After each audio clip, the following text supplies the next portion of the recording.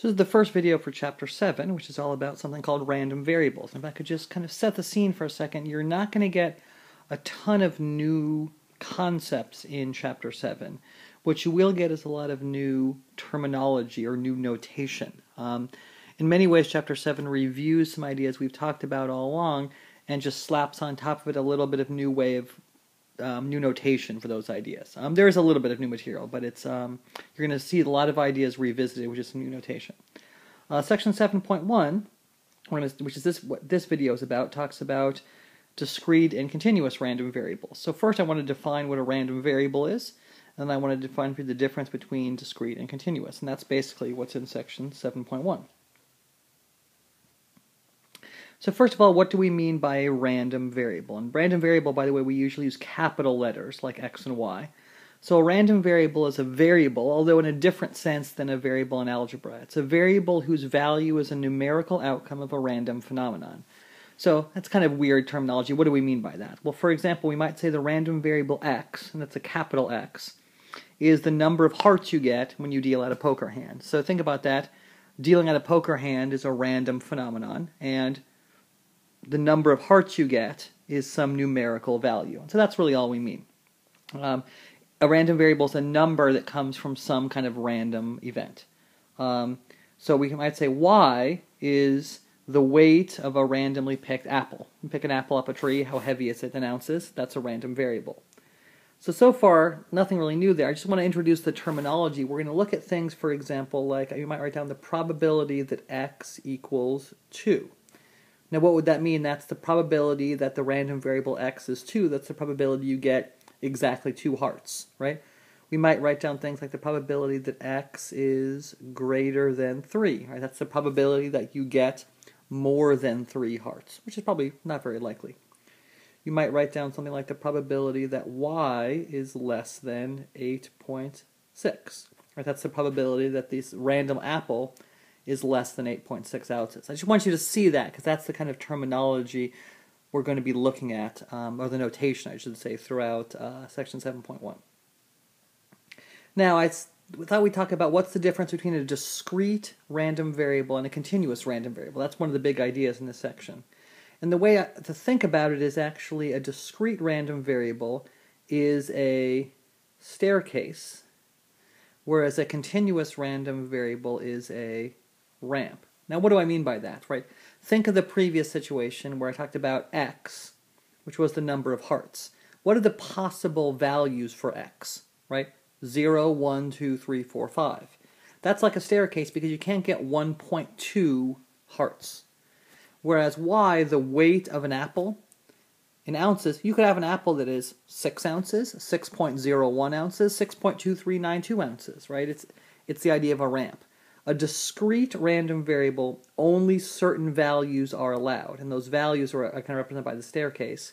A continuous random variable, all possible values are allowed. Okay. Um, kind of think about sometimes it gets a little bit confusing, but you know, in general, like the number of students in a class, right? That would be uh, a discrete variable because you can't have 3.2 students. Um, you know, the height of a student, well, that's continuous because a student could actually be uh, kind of any height. Just focusing on that one example, though, think about height being is that continuous or discrete? It's technically continuous, although the way we talk about height often we think about it as discrete because we say someone is five foot ten or five foot eleven. You know, rarely do you say someone is five foot ten point two three nine two, right? Um, a similar thing sort of happens like with your grade on a uh, a test. Usually, those are in increments of percent. The next grade after 88 is an 89. Um, similarly, think about like what is your GPA? Technically, it's continuous, but often we talk about it as to two decimal places, right? No one really ever says their GPA is 3.16249. They say 3.11 or 3.12. Um, so very often, continuous random variables, while things are technically continuous, we use them in common nature as discrete. Okay. Um, here's just a silly example. And we're going to talk about uh, this example as our first example of a discrete uh, random variable. So I'm going to say there's two rows in this, but we're actually only going to use the first one. So we're going to call the first thing x is the number, so let's say let x be the number of people in a household. And what they've given you here is what is called a uh, discrete probability table. Right, that's what this is. We're actually not going to use, oh gee, let's have to draw a straight line here. There we go. We're not going to use the second row.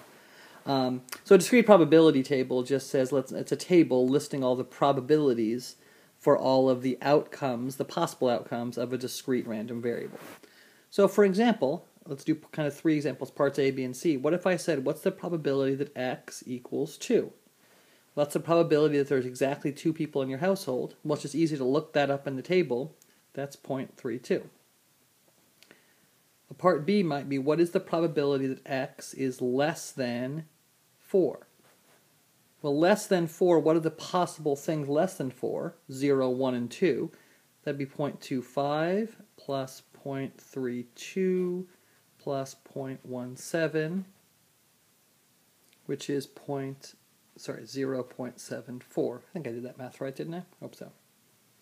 Part C, we can actually combine some notation before. What if I said, what is the probability that x is equal to 1 or x is equal to 6. Well, we know that's the probability. There, these are disjoint events, so it's the probability that x equals 1 plus the probability that x equals 6, which is 0.25 plus 0.03 is 0.28. See how it's things we've done before, just with a little extra notation on top. I want you just, I just wanted you to see this notation this kind of notation. So here's another discrete random variable example. We have two dice. Uh, the first die is a regular die. You can get one, two, three, four, five, six. Um, those are the six faces. The second die, though, is an unusual die in that three of the faces have a 1 on them, and three of the faces have a, uh, a 5 on them. Um, and so it's a little bit unusual. It's not a normal die. Um, and x is going to be the sum of the two dice. So you roll the two dice, add them together, and you you know what, what's the uh, what's the sum. So we want to find the probability that x equals 6 and then x is greater than 6. What's different about this question is we have to make the table uh, ourselves. Um, and so the way to think about it, actually, the way I'm going to approach it is actually this die really, it's kind of like flipping a coin, right? Because half the time you're going to get a 1 and half the time you're going to get a 5. So you could do it as a tree diagram, but I think actually I'm just going to use enumeration and list out the possibilities thinking about the idea that the second die really is just like flipping a coin. So I'm going to go first die one, second die one, then one, excuse me, let me erase that. Then I'm going to say two one, three one, four one, five one, six one. And then we'll say one five, two five, three five, four five, five five, six five and figure out what, what do those outcomes end up being. Well, how many out, you end up with, if I just kind of copy that chart, you're going to get three, four, five, six, seven. What did I do wrong here? Shoot, I messed up again. Two, three, four, five, six, seven, and then six, seven, eight, nine, ten, eleven. Okay, there actually are 12 possible outcomes, but you'll notice that uh, two of them end up being six, and two of them end up being seven. So when you make our chart, let me make our chart down here. And again, you could this is the same. You could do the same thing kind of with a tree diagram. Okay, this is going to be the outcome for x. This is the probability. Actually, let me be a little more clear with the way I write this. Usually, this is going to be like a little lowercase x, so it's tough to tell. And this is the prob. Come on, pen. That big capital X equals this little value x. Yeah, That's meant to be capital X, and so this is the this is the little value x, and then this this is the same thing here. So then I'm going to write two, three, four, five, six, seven, eight, nine, ten, eleven.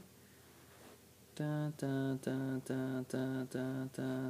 da, okay, well, it turns out there's 12 possible outcomes. This is 1 12th one twelfth, one twelfth, one twelfth, uh, two twelfths. I'll write it like that, but it's one. Two twelfths, one twelfth, one twelfth, one twelfth, one twelfth. So now we can kind of go back up here and say, well, what's the probability that x equals 6? Ah, well, the answer is just it equals 2 twelfths. What's the probability that x is greater than 6? Well, greater than 6 does not include 6, right? So all we're talking about are these outcomes all down here, where x is 7, 8, 9, 10, or 11.